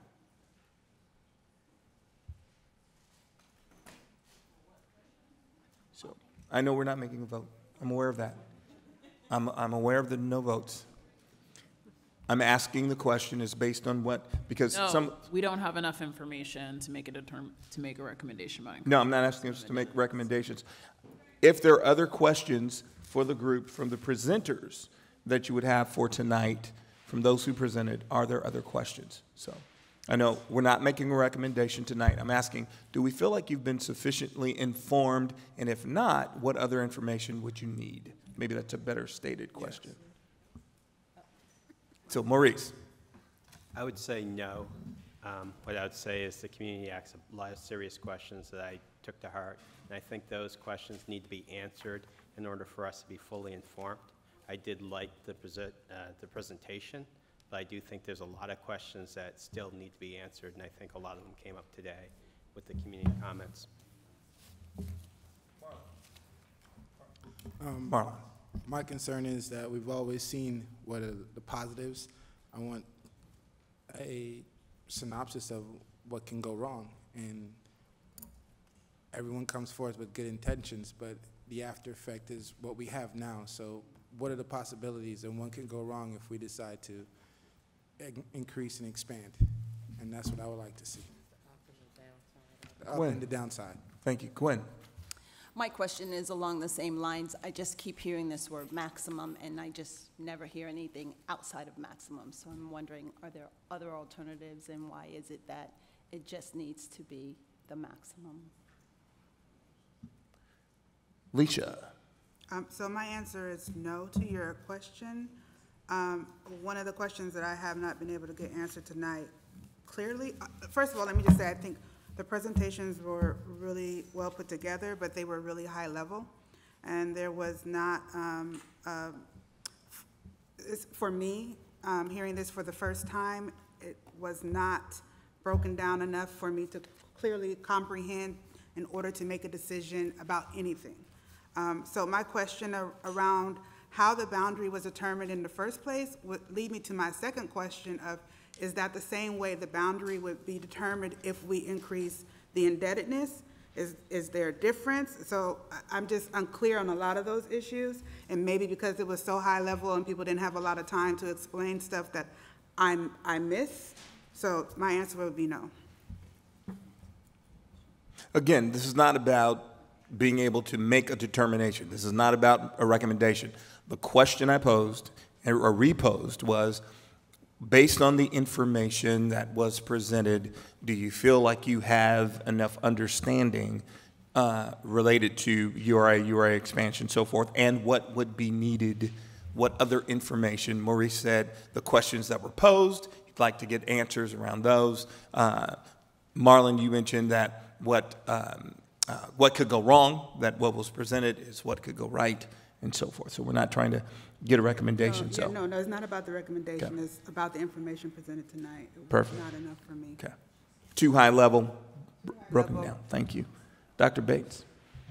I have a number of questions. Um, I would like to know, not only I would second or third Marlon's question about what the downsides are, um, and Gwen's question about other ranges of, of dollars which may be available. I would like to know more about what the alternative uses of the, um, tax revenue by the other jurisdictions would be, and the ways in which we may prefer those uses by the county or school district or any other jurisdiction that it will continue to not have this property taxes, um, and the ways that those may help um, advance racial justice.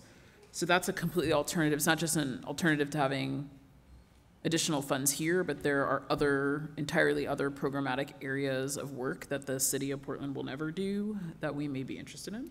Um, my second question is uh, to repeat questions I have asked at the Oversight Committee for PHB, um, are what the city's plans are to increase this funding to projects of community development, economic development, housing development in this area and towards African American people everywhere in the city, not only with money that is in the Housing Bureau, federal allocations, general fund, but also um, going back to the original intent of this project, which was, again, um, as I was told when invited to be on this committee, was to turn $20 million into $200 million, and that there would be massive efforts by the city of Portland to leverage funds to have foundations and philanthropic giving and you know, make this a, a showpiece and national center of, of significant investment. So I would like to know about plans for that work.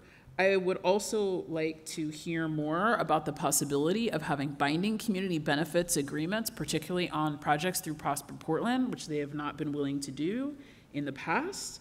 Um, I would like to understand more about the relationship of this conversation to the Hill Block project and to other related future activities such as conversations around the Albina Vision, uh, Memorial Coliseum, you know, reboot times, however many times historically that's going to be, um, you know, and sort of that broader sense of areas that may in the future also need um, other kinds of public funding. Thank you very much.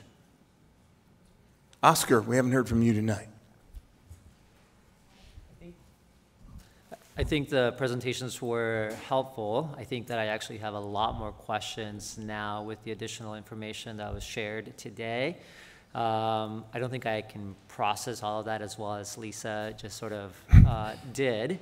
Uh, but I, I agree that um, the information is very high level and that um, we're moving towards uh, a direction where we're going to have to make some very serious recommendations. And until we get a little bit more granular and we get a little bit more about what the impact of these programs are having on people, um, that you know we're not going to be. I'm not going to be able to like um, be comfortable uh, moving forward with this recommendation. Perfect. Karen, we haven't heard from you. Any comment? No comment? Okay, thank you.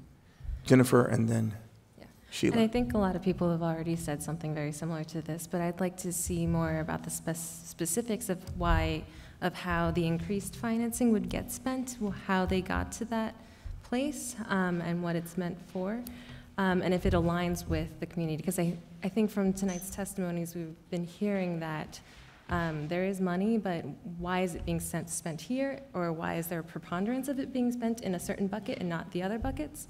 Um, so really diving deep into how it is intended to be spent would be something I would like to see and how um, those decisions were made. Thank you. Sheila? I appreciate having both groups be able to hear the presentations tonight. And my question is, now that we have the questions that people still have, what would be next steps? What have you envisioned as the next steps after this? Are you asking me specifically, what have I envisioned? Well- Or what is envisioned by? Okay, what is envisioned? I think that is to be determined. I think there's some follow-up discussion. So uh, the reason why the joint, the joint meeting uh, tonight, that was my suggestion, that we have actually all three groups come together and work through this information because it is so significant and it is so vital, and there are so many nuances associated with it. Uh, to have us in the same room, same book, same time, same information, to have the same discussion, because each one has its own impact. Um, The Northeast CDI has a specific charge, the Project Working Group has a specific charge, and then the Housing Oversight Committee has a specific charge. And then there are some overlaps as it relates to the work that we do. So it'd be beneficial to have the conversation. In my mind, I don't think one presentation can take us to a place of resolution slash determinations. So it'd be great to have ongoing discussion. I can't determine that. That's my thought. So that's my hope, is that we'll have ongoing conversation. Does that help? It does. Okay. Janisha? Um, First, I want to say thank you for everybody being here. I'm really happy to see the community here and represented with questions as well. Uh, There's many times where the community is not represented, there is no voices heard. And, and, um, and again, you get the three minutes to have your voice heard in the first place. So I'm really glad that the community has something to say that is present in making us accountable um, for the work that we're supposed to do, that we have not done, that we want to do, you know? And um, I'm just happy that, I, I think there's a lot that I learned today from everybody and the organizations and what, but I think there's a lot more that can be distributed to the community, where that their voice is heard and they're able to know that there are things, that there's money available. Because I don't think even with the money that is available, that the community is aware that they have options, even if there may be minimum. So again, I'm glad that we had this, the community involved. Any other voice from oversight committees prior to our closing? Yes, Sheila? So a next step in my mind would be that we would definitely need to have the list of questions and uh, the gaps that were identified by both those sitting around the table and um, the public that was here testifying tonight, and get that out to everyone so that they can noodle it, if you will, and see if there are other issues. And hopefully, at some point, this body will come back together and do an update on where we are, because we got to keep moving, right? Absolutely. Absolutely. At some point, a decision has to be made.